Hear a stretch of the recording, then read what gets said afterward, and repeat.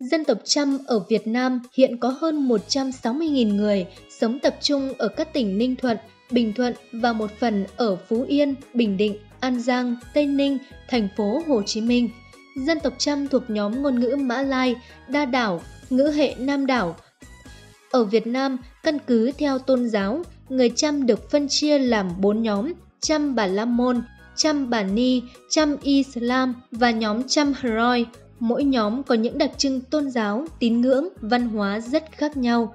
Người Chăm có truyền thống nông nghiệp ruộng nước, giỏi làm thủy lợi và làm vườn trồng cây ăn trái. Bên cạnh việc làm ruộng nước, vẫn tồn tại loại hình ruộng khô một vụ trên sườn núi. Bộ phận người Chăm ở Nam Bộ lại sinh sống chủ yếu bằng nghề trái lưới, dệt thủ công và buôn bán nhỏ. Nghề nông chỉ là thứ yếu.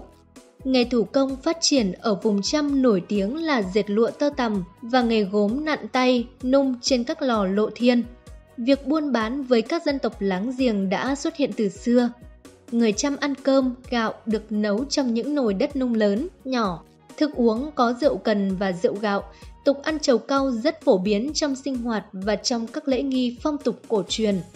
Nam nữ người Chăm đều quấn váy tấm, nam giới mặc áo cánh ngắn xẻ ngực cài khuy, nữ giới mặc áo dài chui đầu, màu chủ đạo trên y phục là màu trắng của vải sợi bông.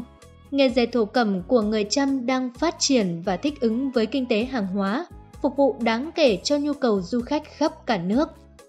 Người Chăm cư trú tại Ninh Thuận, Bình Thuận, ở nhà đất hay còn gọi là nhà trệt.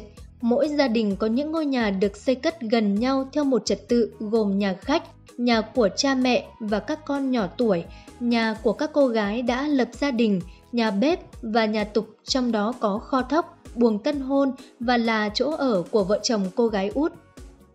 Gia đình người Chăm mang truyền thống mẫu hệ. Ở những vùng theo Hồi giáo Islam, tuy gia đình đã chuyển sang phụ hệ, vai trò nam giới được đề cao, nhưng những tập quán mẫu hệ vẫn tồn tại khá đậm nét trong quan hệ gia đình, dòng họ với việc thờ cúng tổ tiên. Khi kết hôn, người chăm cư trú phía nhà vợ, con sinh ra đều theo họ mẹ, sinh lễ khi cưới do nhà gái lo liệu. Người chăm có hai hình thức đưa người chết về thế giới bên kia là thổ táng và hỏa táng. Nhóm cư dân theo đạo Bà La Môn thường hỏa táng theo giáo luật, còn các nhóm cư dân khác thì thổ táng.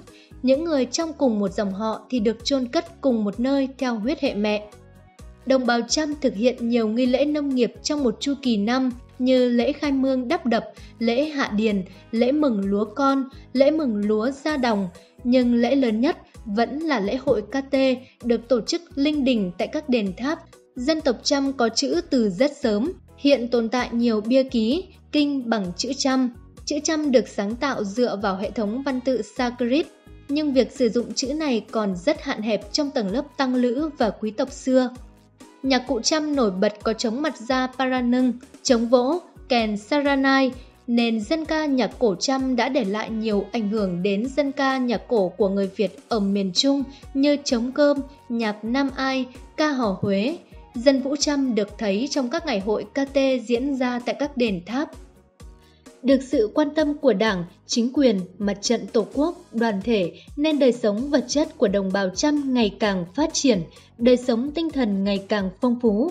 Đặc biệt, với phương châm sống tốt đời, đẹp đạo, các chức sắc, giáo cả luôn tuyên truyền cho tín đồ về tinh thần yêu nước, đoàn kết, gắn bó, sống quần tụ, hòa thuận, đùm bọc lẫn nhau.